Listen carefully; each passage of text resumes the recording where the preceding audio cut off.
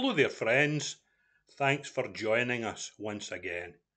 Did you enjoy seeing these pictures of Kilwinning from a bygone day? Lots of changes, and that is something that characterises our world. And it characterises us as well. We just need to look in a mirror to see that we're changing. You know, we're all very different from what we were yesterday at this time, even if it's only the fact that we are 24 hours older. We're marked by change. The line of the hymn that we were hearing at the beginning of this message was Change and decay, and all around I see. But our Bible verse, in contrast with that, reminds us that God is unchanging. In Malachi chapter 3 and at verse 6, we read these words For I am the Lord, I change not. Therefore, ye sons of Jacob are not consumed. In the book of Malachi, God has been charging his ancient people, Israel, with their sin and their disobedience and their waywardness. And we read about that also in the book of Nehemiah in chapter 9. Nehemiah, in praying to God, is confessing the sin and the rebellion and the disobedience of the people. And we read at verse 17, and this is wonderful. But you are a God ready to pardon, gracious and merciful, slow to anger, abundant in kindness, and did not forsake them. In that past day, God's people changed, and they were no longer faithful to Him, but He was faithful to them. Because what, what did we read? I am the Lord, I change not. Again in the book of Malachi, we read in verse 14 of chapter 1, God says, I am a great king, says the Lord of hosts, and my name is to be feared among the nations. And yet, like Israel of old, we ignore God. We disregard His word. We break His laws. We don't show Him the reverence He deserves and demands. And yet, God is still faithful, and God is long suffering to usward, not willing that any should perish, but that all should come to repentance.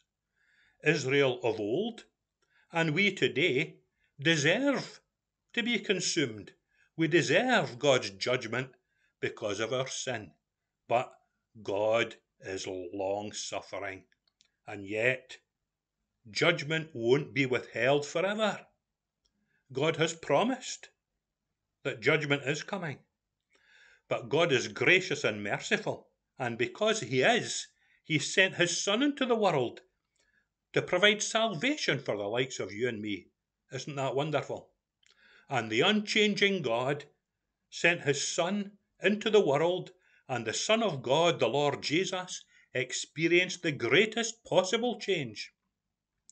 He exchanged the highest throne in the universe for Bethlehem's manger.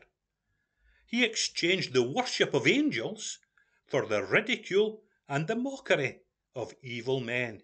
He exchanged the honour of heaven for the shame of the cross.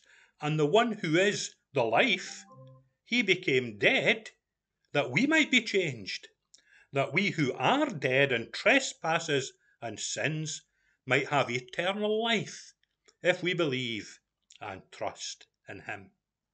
And if we do repent of our sins and believe the gospel, if we trust the Lord Jesus Christ, we will know a great change.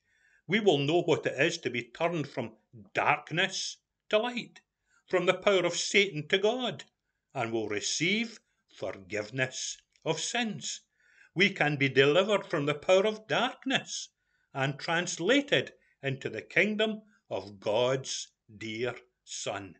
Yes, my friend, the unchanging God sent his Son into the world to die on the cross, to bear the sins of sinners like you and I, that if we believe and trust in him, we might be changed, we might become God's children, and we might be assured of an eternal home in heaven in a changing world. And I don't need to tell you the world's changing. We see it every day. In a changing world, we can have a life changing, indeed, an eternity changing experience through faith in an unchanging God, through believing in the Saviour who is the same yesterday and today and forever. Trust the Lord Jesus Christ today and know the assurance of salvation through faith in Him. Thanks again for listening. Bye for now.